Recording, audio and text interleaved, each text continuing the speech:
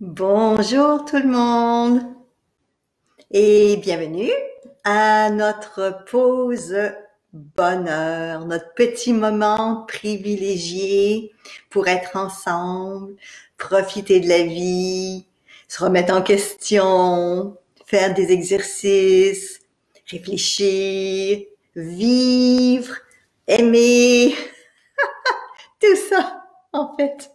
Tout ça, mon Dieu. C'est merveilleux de pouvoir avoir tout ça en même temps. Ah, bonjour tout le monde. Ben, bonsoir. Pour certains d'entre vous, c'est très, très tôt le matin. Pour d'autres, c'est tard le soir. On fait un petit tour, un petit tour du monde, en fait, en étant, en étant ensemble aujourd'hui. Ça me fait plaisir d'être avec vous et de vous dire tout de suite que notre prochaine rencontre, c'est le 20, le 20 avril. Il y en a d'entre vous qui, euh, m'ont demandé, ah, c'est quand nos prochaines pauses, nos prochaines pauses. Aujourd'hui, j'ai quelque chose de particulier euh, que j'aimerais partager avec vous. Un bel exercice que je vais vous proposer, en fait, euh, pour qu'on aille un petit peu plus à l'intérieur de nous, se faire du bien, mais aussi, pas juste pour soi, même si c'est très important, mais aussi peut-être euh, faire certaines choses ou dire certaines choses euh, pour les gens autour de nous. ben oui, comme vous le savez, euh, si nous on est de mieux en mieux, ben on peut aussi aider les autres autour de nous à être de mieux en mieux eux aussi. J'ai un petit coucou à Warena et Xavier qui sont de Tahiti toutes les deux, les personnes de France, du Québec, de Suisse, de l'île de la Réunion, un petit peu partout. Nouvelle-Calédonie aussi, mais c'est très très tôt pour vous le matin. Mais je sais que dans les îles, souvent les gens se lèvent très tôt, de toute façon. Donc j'étais en train de dire qu'aujourd'hui, j'aimerais euh, partager avec vous certains exercices euh, pour qu'on soit mieux avec soi, mais aussi mieux avec les autres. Et j'ai été inspirée de deux événements.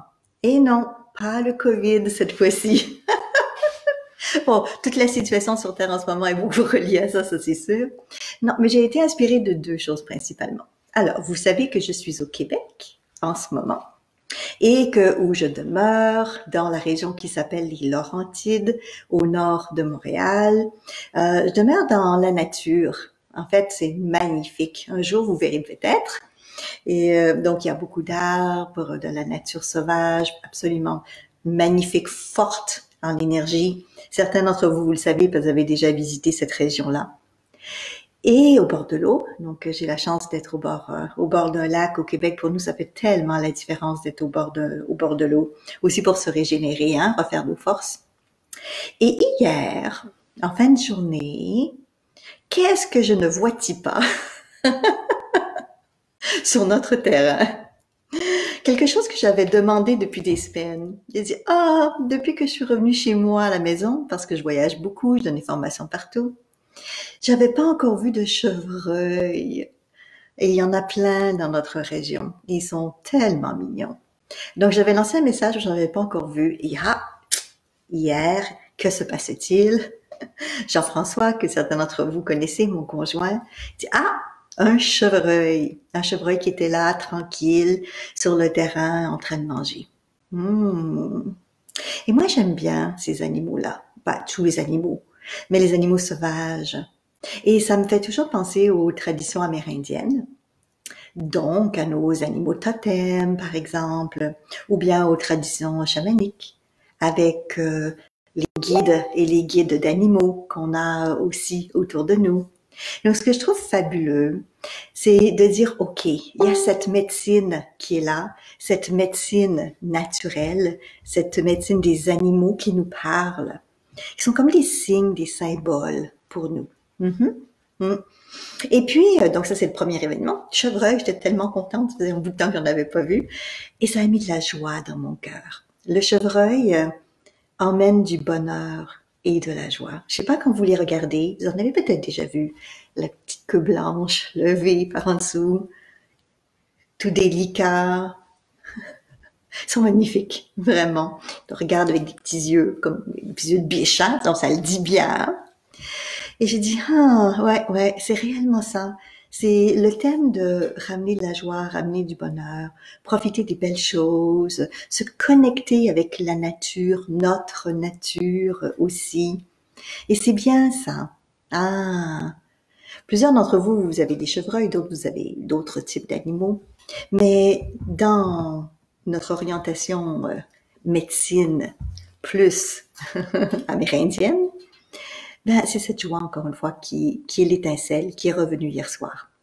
En disant, oui, je sais, ouais, ouais, la fausse bonheur, c'est vraiment la joie, donner de la joie. Pas que être de la joie, mais apporter de la joie aux autres. Le fait que je regarde le chevreuil et wow, en de moi, ça me fait du bien. Ben, c'est bien peut-être être un chevreuil pour les autres. c'est ce que je vous propose en tout cas aujourd'hui, de, de devenir euh, ce chevreuil, cette joie, cette euh, lumière, ces petits yeux qui font du bien à toutes les personnes qui sont autour. Et j'étais dans cet esprit donc pour préparer euh, notre rencontre d'aujourd'hui. Et ce matin, je me fais réveiller par deux choses. La première chose, le ronron de ma chatte, qui a un ronron incroyable, juste collé sur moi. Presque la patte dans le visage, vous savez. Trop mignonne, trop adorable.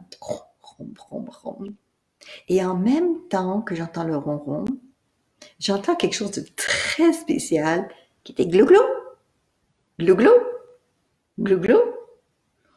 Et par expérience, ayant déjà rencontré des dindes et des dindons dans différents pays, comme par exemple en Nouvelle-Calédonie où il y a beaucoup de dindons sauvages où je suis allée, mais pas que là, hein, je me suis dit, mais c'est, est-ce que ça pourrait être un dindon? je me lève, je regarde, parce que j'ai une très grande, grande fenêtre, une magnifique vue euh, dans la nature. Et là, je regarde, juste en face de moi, sur le terrain, un immense, pas petit, là, un immense dindon sauvage qui me regarde.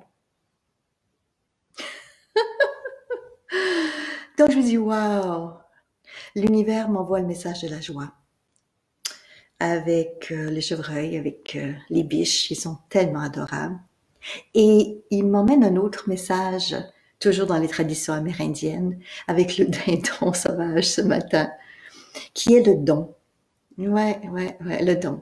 On peut comprendre pourquoi, parce que euh, un dindon, euh, ben, c'est assez gros. Lorsque lui était assez gros, j'en ai vu des tout petits chiffres en Calédonie ou autre, mais lui était vraiment gros. Et dans les traditions amérindiennes, ils sont gros, ils sont généreux, ils ont de la chair, ils donnent à manger à tous. Ça représente la générosité, le partage et nourrir les autres. Le don, le don aux autres.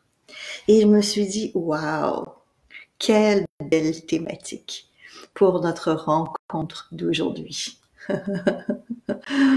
Donc, euh, dans plein de traditions, pas, pas que amérindiennes, hein, Bon, c'est sûr qu'après ça, je dis, ouais, mais je voudrais pas être le dindon de la farce. bon, même si on a dans les traditions amérindiennes, en tout cas, des fois manger des dindons dans certaines occasions. Mais non, non, non, c'était pas ça. C'était un magnifique animal qui m'a regardé, qui a fait un beau bruit, chanteur, wow, en me disant dans le message de nos Amérindiens, oui, le partage nourrit les autres, en nourrissant les autres, en étant généreux, en donnant aux autres. Par conséquent, sans le vouloir, sans attente, mais par conséquent, tu te nourris toi-même, tu te donnes à toi-même aussi. Ah, c'est merveilleux. en même temps, j'en profite, je dis bonjour à Liliane, à Citrine, toutes les personnes qui sont là, Muriel, à Nathalie. Donc évidemment, euh, comme je dis aussi, euh, ça dépend des peuples, bien sûr, ça dépend des traditions amérindiennes, parce que chaque tradition a sa représentation animale. Mais si on va dans la symbolique, donc un dindon, à quoi ça ressemble Ben, je pense que effectivement, il y avait pas mal de chair sur celui que j'ai vu ce matin. Bon, j'avais pas envie de le tuer là, ni de le manger, euh, mais juste dire oui, la générosité, oui, l'appel, le réveil, parce qu'il m'a réveillé, en fait.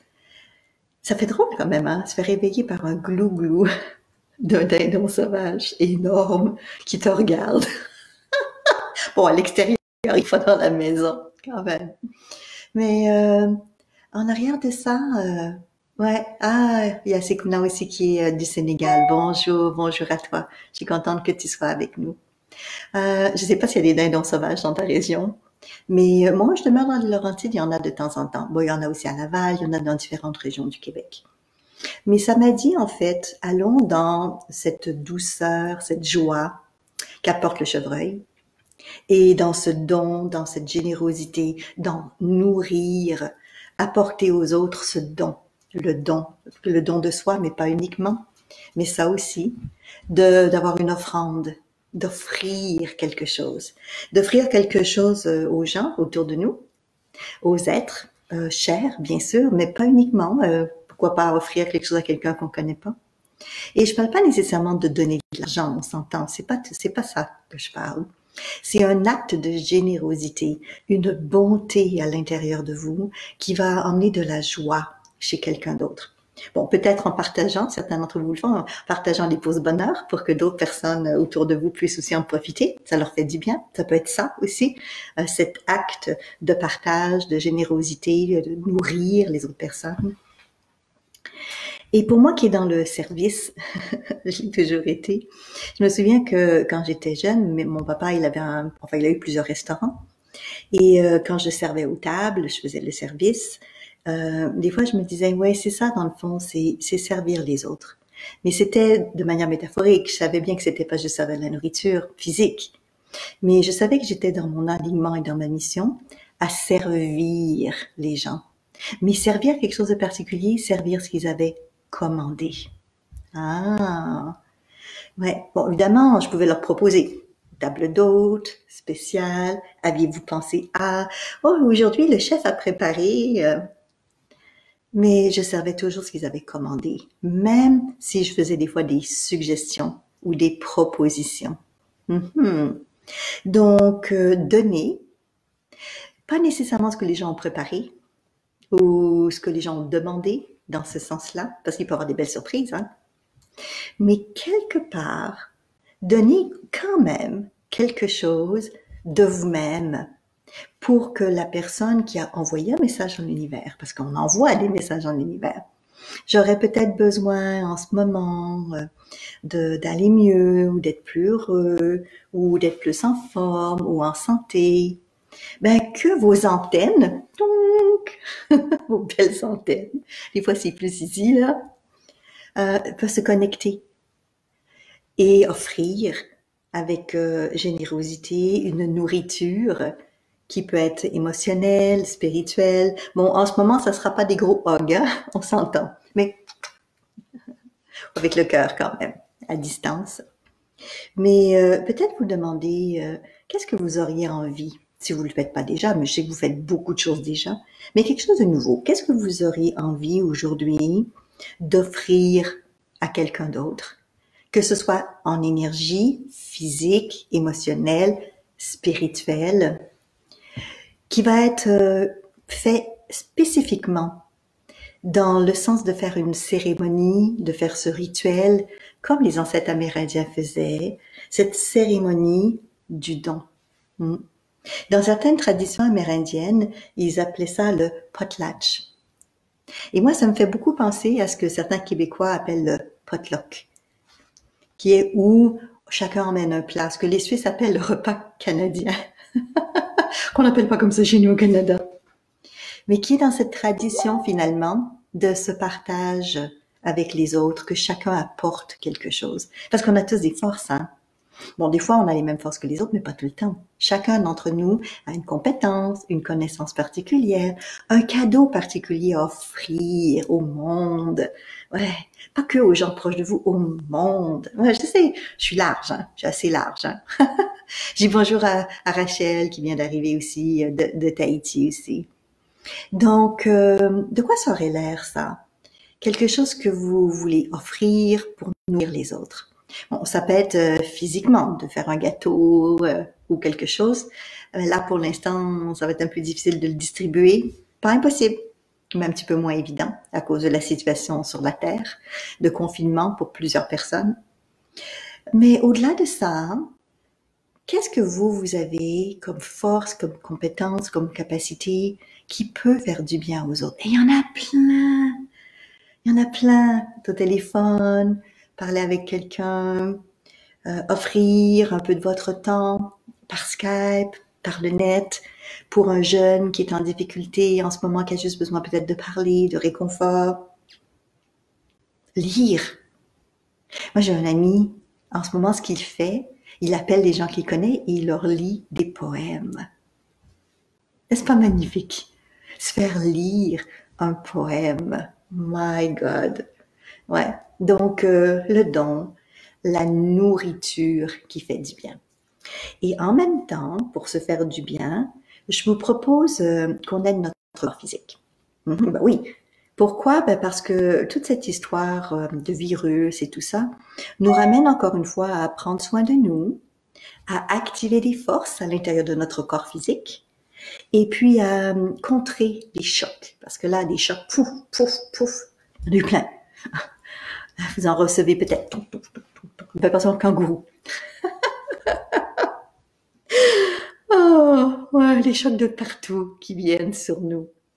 Donc, je vous propose, si c'est pas déjà fait, de vous installer confortablement pour aller à l'intérieur de vous-même. Et pendant que vous vous installez confortablement pour aller à l'intérieur de vous-même, je vais demander à votre conscient, rationnel, mental, de bien saisir et de bien comprendre et de garder avec lui toute cette expérience que vous allez vivre, que ce soit maintenant ou en différé, certains d'entre vous vous l'écoutez, enregistrez, et que cette expérience-là, c'est un peu comme Citrine écrit, c'est un cercle d'énergie où chacun peut rayonner cette lumière. C'est exactement ça. Que cette expérience-là, elle a pour but de vous emmener à vous faire du bien. Pourquoi? Parce que cette nourriture, ce don qui est pour les autres, ben il est aussi pour soi. On revient là-dessus. On le fait pour nous et on le partage avec les autres. Votre conscient peut s'installer confortablement quelque part. Là où il veut, c'est tout simplement pour qu'il écoute et qu'il n'interfère pas avec l'exercice, avec ce que vous avez envie de vivre. Mais c'est important qu'il soit là, qu'il entende. Et si jamais il y a quoi que ce soit que je dis, que je fais, ou euh, quelqu'un qui frappe à votre porte ou le téléphone, ben, il peut revenir rapidement. Et il est là aussi euh, pour activer votre euh, pleine présence et à ce qui se passe. Et il vous met dans une position de bien-être, de sécurité. Tout est là pour que vous puissiez aller à l'intérieur de vous-même en mettant des balises, ce qu'en hypnose on appelle des fusibles, juste pour, à tout moment donné, pouvoir euh, laisser aller des pensées perturbantes, les mettre de côté, vous les reprendrez plus tard si vous voulez, si elles sont nécessaires. Sinon, ben, il y a des belles poubelles qui servent à ça. ça, je te veux plus donc. Mais de laisser votre être intérieur tout simplement commencer à avoir ce désir de se manifester avec vous et être à l'écoute peut-être de cette capacité qu'il a d'aller à l'intérieur de vous pour faire en sorte que de plus en plus, dès aujourd'hui, votre corps physique, mais aussi votre corps énergétique, puisse vibrer avec de plus en plus d'harmonie. Ah. Et c'est bien de savoir que chaque jour, et là, c'est un petit clin d'œil pour Lynn, chaque jour est comme votre anniversaire. Et que aujourd'hui c'est la fête. Et c'est la fête parce que votre être intérieur, votre être profond, il a ce désir et il est là aujourd'hui pour vous aider à mieux vivre dans ce corps physique pour activer encore plus toutes nos capacités que l'on a de se régénérer, de retrouver de la force, de l'énergie, de la vitalité, toutes ces capacités pour nettoyer notre système, pour le rendre encore plus puissant, encore plus solide. Et je ne sais pas exactement de quelle manière, Vous avez l'habitude de vous connecter à cet aspect de vous-même, votre être profond. Mais je sais une chose, c'est qu'il se contacte avec vous plusieurs fois dans la journée. Eh oui, même si des fois vous n'en êtes pas conscient, mais votre inconscient est là. Oui. Et aujourd'hui, j'invite euh, cette partie de vous qui a ce désir euh, d'aider votre corps, encore une fois, à, être mieux dans toute cette situation. Que ce soit votre corps physique, en récupérant de l'énergie ou de la vitalité, comme j'ai dit tout à l'heure, ou que ce soit votre corps émotionnel, oh, vous permettant de respirer librement au rythme naturel qui est le vôtre. Et de vous permettre aussi de vous reconnecter à des émotions aidantes pour vous. Peut-être à libérer certaines émotions qui ne sont plus nécessaires. Et à mettre en place plus de paix, peut-être plus d'amour pour vous-même, commençons par soi, et peut-être aussi pour les autres. Et pendant qu'en ce moment, on se fait tous un cadeau, notre cadeau de fête. Et pourquoi pas fêter aujourd'hui? Fêter la joie, fêter le don, fêter euh, tout ce qui est bon et utile pour nous. Et être là, dans cette présence, à accueillir le fait que nous sommes vivants. Nous sommes physiquement sur Terre. Des êtres de lumière incarnés dans un corps physique. Et pendant que votre être intérieur sait tout cela, il fera peut-être le choix déjà d'activer à l'intérieur de vous une ressource, quelque chose d'aidant et utile pour faire en sorte d'aider ce corps énergétique, physique, émotionnel ou spirituel, ces différents corps, à faire en sorte de vous amener encore plus loin, encore mieux, dans toutes ces expériences que votre être souhaite vous faire vivre sur Terre. Et pourquoi pas? Si vous le souhaitez, mais j'imagine que oui, avoir des expériences humaines, belles, agréables, hmm.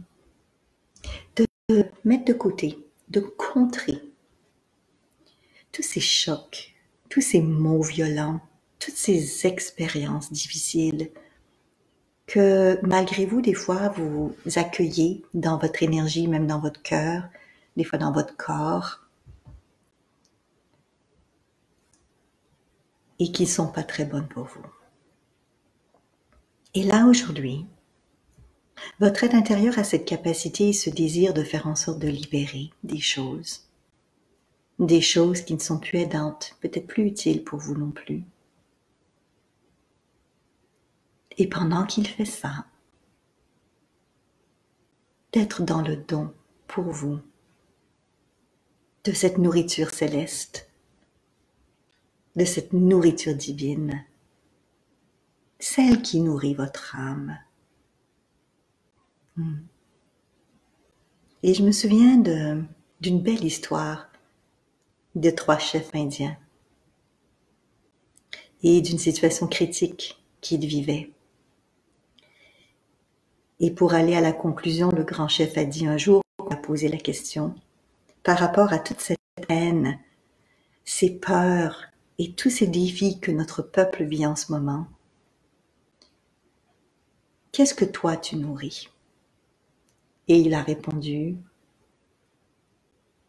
en parlant des chiens en métaphore, je nourris celui qui fait du bien. Ah. Je fais le choix de nourrir ce qui me fait grandir et ce qui me fait du bien. Je ne sais pas exactement en ce moment quel choix vous faites par rapport à cette nourriture intérieure, ce don de soi à soi par exemple. peut-être de nourrir l'amour, de nourrir la joie, de nourrir la bonté, de nourrir l'espoir, de nourrir la lumière, de nourrir la vie. Et si aujourd'hui, là, en ce moment, tout ça s'ouvre en vous, vibre autour de vous, pour laisser cette aura, ce champ d'énergie, de lumière émaner de vous, comme un bouclier de protection, bien sûr, mais encore plus que ça, comme des faisceaux lumineux qui partent vers le monde pour nourrir aussi la terre, les animaux. Prendre cette journée et ce moment pour ce qu'il est, là, dans l'instant. Ce moment où vous aidez votre corps, où vous aidez vos corps à se régénérer. Et c'est bien de savoir qu'à l'intérieur de vous, il y a tout. Il y a cette pharmacie, il y a ce médecin, il y a une infirmière, il y a votre psychologue. et d'activer toutes ces compétences et capacités que vous avez pour être là quand vous en avez besoin pour vous-même.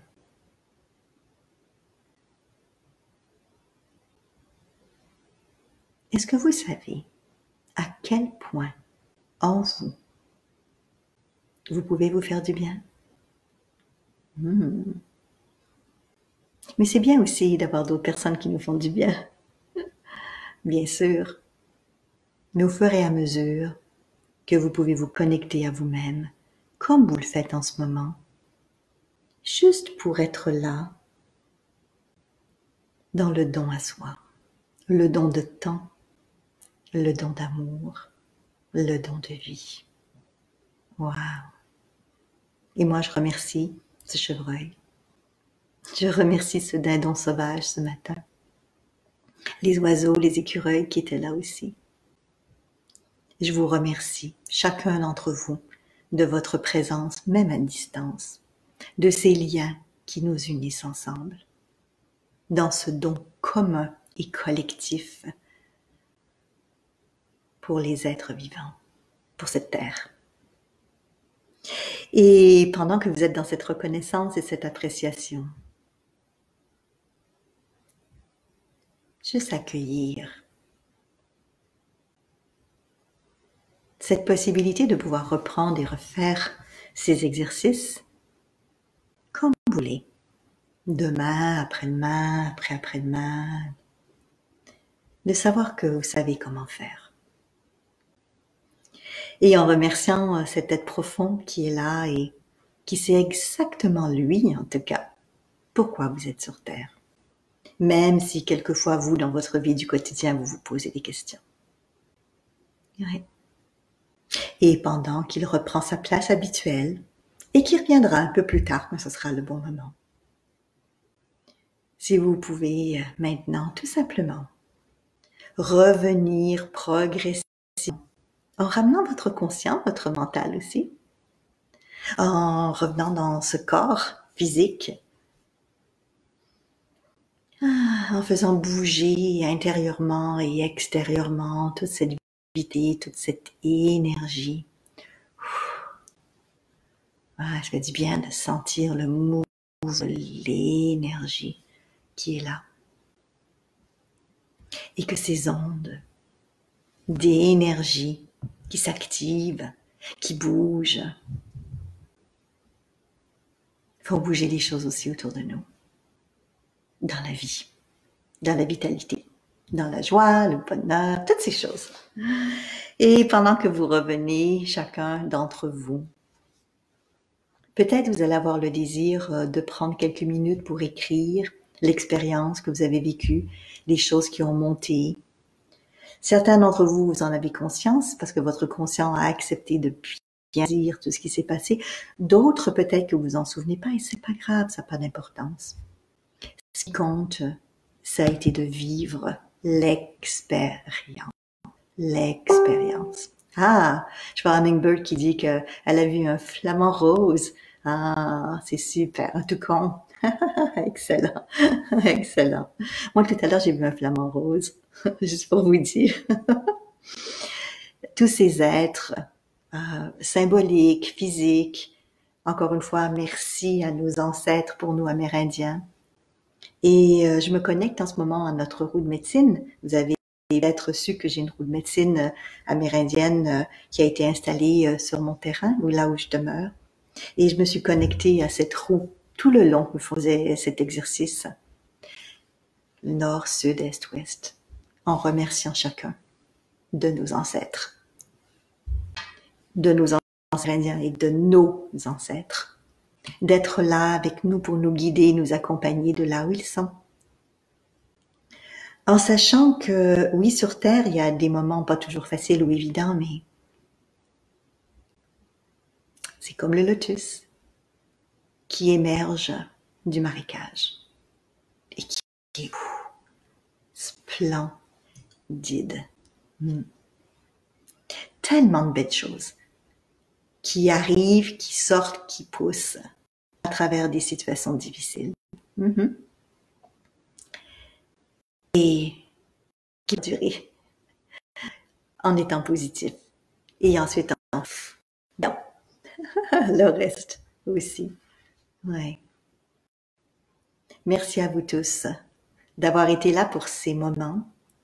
Profitez pleinement de du temps que vous passez avec vous-même, de ce don cette nourriture à tous les niveaux que vous vous donnez à vous-même. Et on se revoit pour continuer à se faire du bien, à prendre un petit moment ensemble de joie et de bonne vie. On se revoit dans quelques jours. Bye bye tout le monde.